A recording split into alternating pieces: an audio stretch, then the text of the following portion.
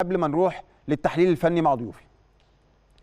لاعب الفريق أليكس يونج المحترف الأمريكي اللي هو جه السنة اللي فاتت وكان وجه من الدوري الروسي قادم من الدوري الروسي. وما أدراك ما الدوري الروسي؟ الدوري الروسي قوي جدا وهو لاعب من اللاعبين أصحاب الأرقام العالية.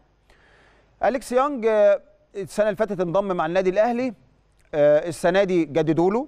أليكس يونج من كتر عشقه وحبه في مصر والنادي الأهلي خلف بنت من يومين أو من أسبوع خلال قول 10 أيام تقريبا. كان هو دي طبعا لقطات لاعبنا المحترف إليكس يونج من حوالي 10 أيام أو أسبوعين هو كان في الولايات المتحدة الأمريكية بيستقبل طفلته سماها كايرو أو القاهرة. سمى بنته كايرو ألكسندر.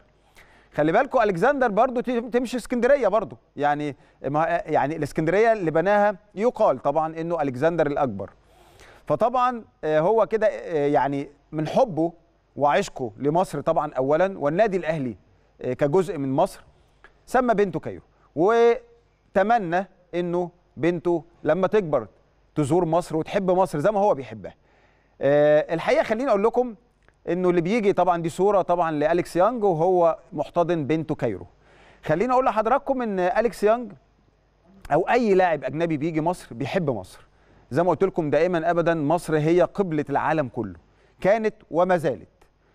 والحقيقة يعني بتلاقي في أمان المعاملة بتلاقي كل شيء حلو تقدر تعيش فيه في مصر بتحب الأجانب بيحبوا يعيشوا في مصر. وزي ما شفنا زمان اليونانيين وشفنا الإيطاليان وشفنا كل الجنسيات كانت بتتاخذ من مصر مقر ليها وحابة تعيش في مصر.